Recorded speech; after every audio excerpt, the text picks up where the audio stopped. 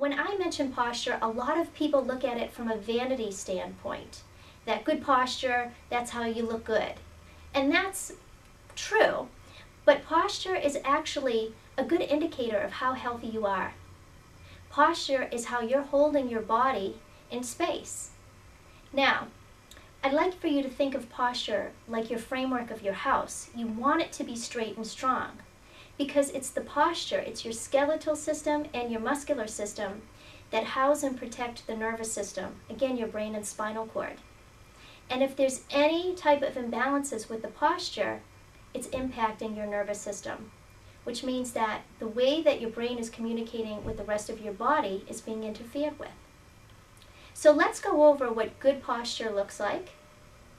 Okay, now we're going to show you how to analyze your own posture or that of your family members and friends. When analyzing your own posture, you want to look at yourself in a full-length mirror. So, first thing we're going to do is have you march in place. Great, and then you stop. You're going to turn your head to one side and then to the other, and then look straight ahead. Now, the first thing you're going to do is you're going to look at your feet. So if you're analyzing your own posture and you're in front of a full-length mirror, you just want to move your eyes. When looking at your feet, you want to see if both feet are facing forward. Or are your feet turning in or out? Is one foot possibly going this way or the other coming in like this?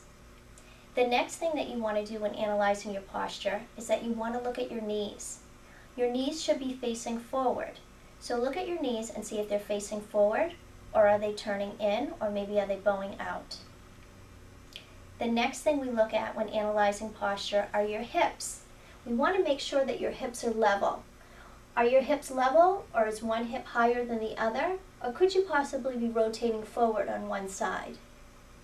The next way that we look at your posture is through your shoulders. Are your shoulders nice and even? Is one shoulder higher than the other? Or are you rotated forward? And the last thing that we look at when analyzing your posture from the front is what is your neck doing in relationship to your head? Is your neck on an angle or is it nice and straight? Your chin should be over your breastbone. How does your head look? Is one ear higher than the other or are you rotated forward? Ears should be level and you, there should be no rotation in your head at all. So that's how we look at posture from the front. Any postural imbalances can lead to distress in the body and cause subluxation, pressure on the nervous system.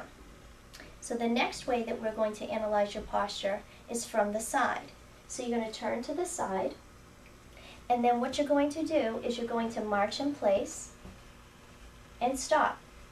Then you're going to turn your head to one side and then to the other. You want to see if the ear is over the bony portion of the shoulder and then your bony portion of the shoulder should be in alignment with the seam of your pants. If it's all in alignment, that's great posture. A lot of times what we're seeing now is that people are having forward head posture like this, and that's not good. For every inch that your ear is past the bony portion of your shoulder, it's an extra 10 pounds of gravity coming down on you. Now we used to see postures like this in older individuals, now we're seeing it more so in younger people. And a lot of that has to do with things like weight of backpacks, which we'll talk about later, as well as improper posture at the computer, which we'll talk about in the future as well.